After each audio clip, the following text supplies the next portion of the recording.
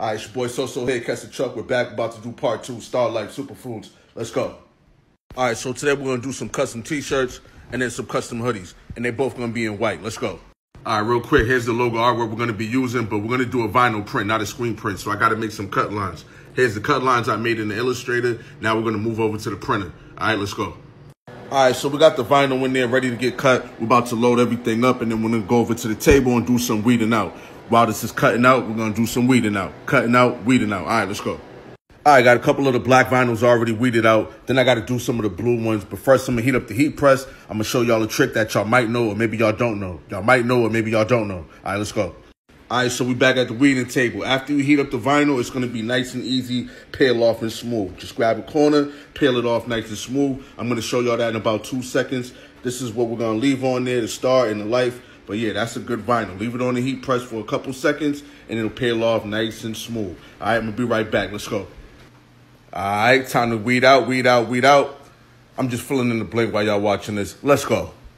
Okay, we got our vinyls already cut out. We got the blue, we got the black. Now we just got the heat press rolling. Gonna get our hoodies and our t-shirts ready, and it's time to start printing. Let's go. All right, we're gonna start off with the white hoodies. We're gonna keep this around 300, 305. We're gonna give this a quick preheat, get all the wrinkles out, and then we're gonna get printing. All right, let's go.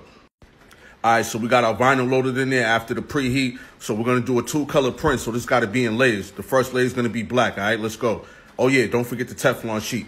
Got to cover that, make sure everything's straight, all right? Let's go. All right, so the first layer is already on there, heat pressed in there. Now I'm about to put this nice electric blue on there. Oh, yeah, all you got to do is match it up, match it up. And then we good money, all right? Let's go. Oh yeah, one more thing. Don't forget the Teflon. You gotta have a cover sheet. If you don't have a Teflon cover sheet, you can use parchment paper. I just put you up on some free game. Let's go.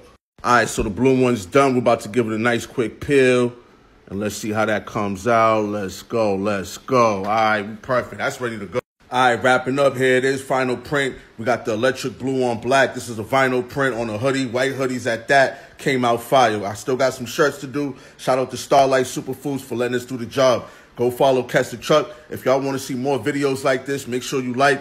Man, show some love, man. Drop a comment, anything. Show some motivation. And I'm going to keep them going, all right? Let's go.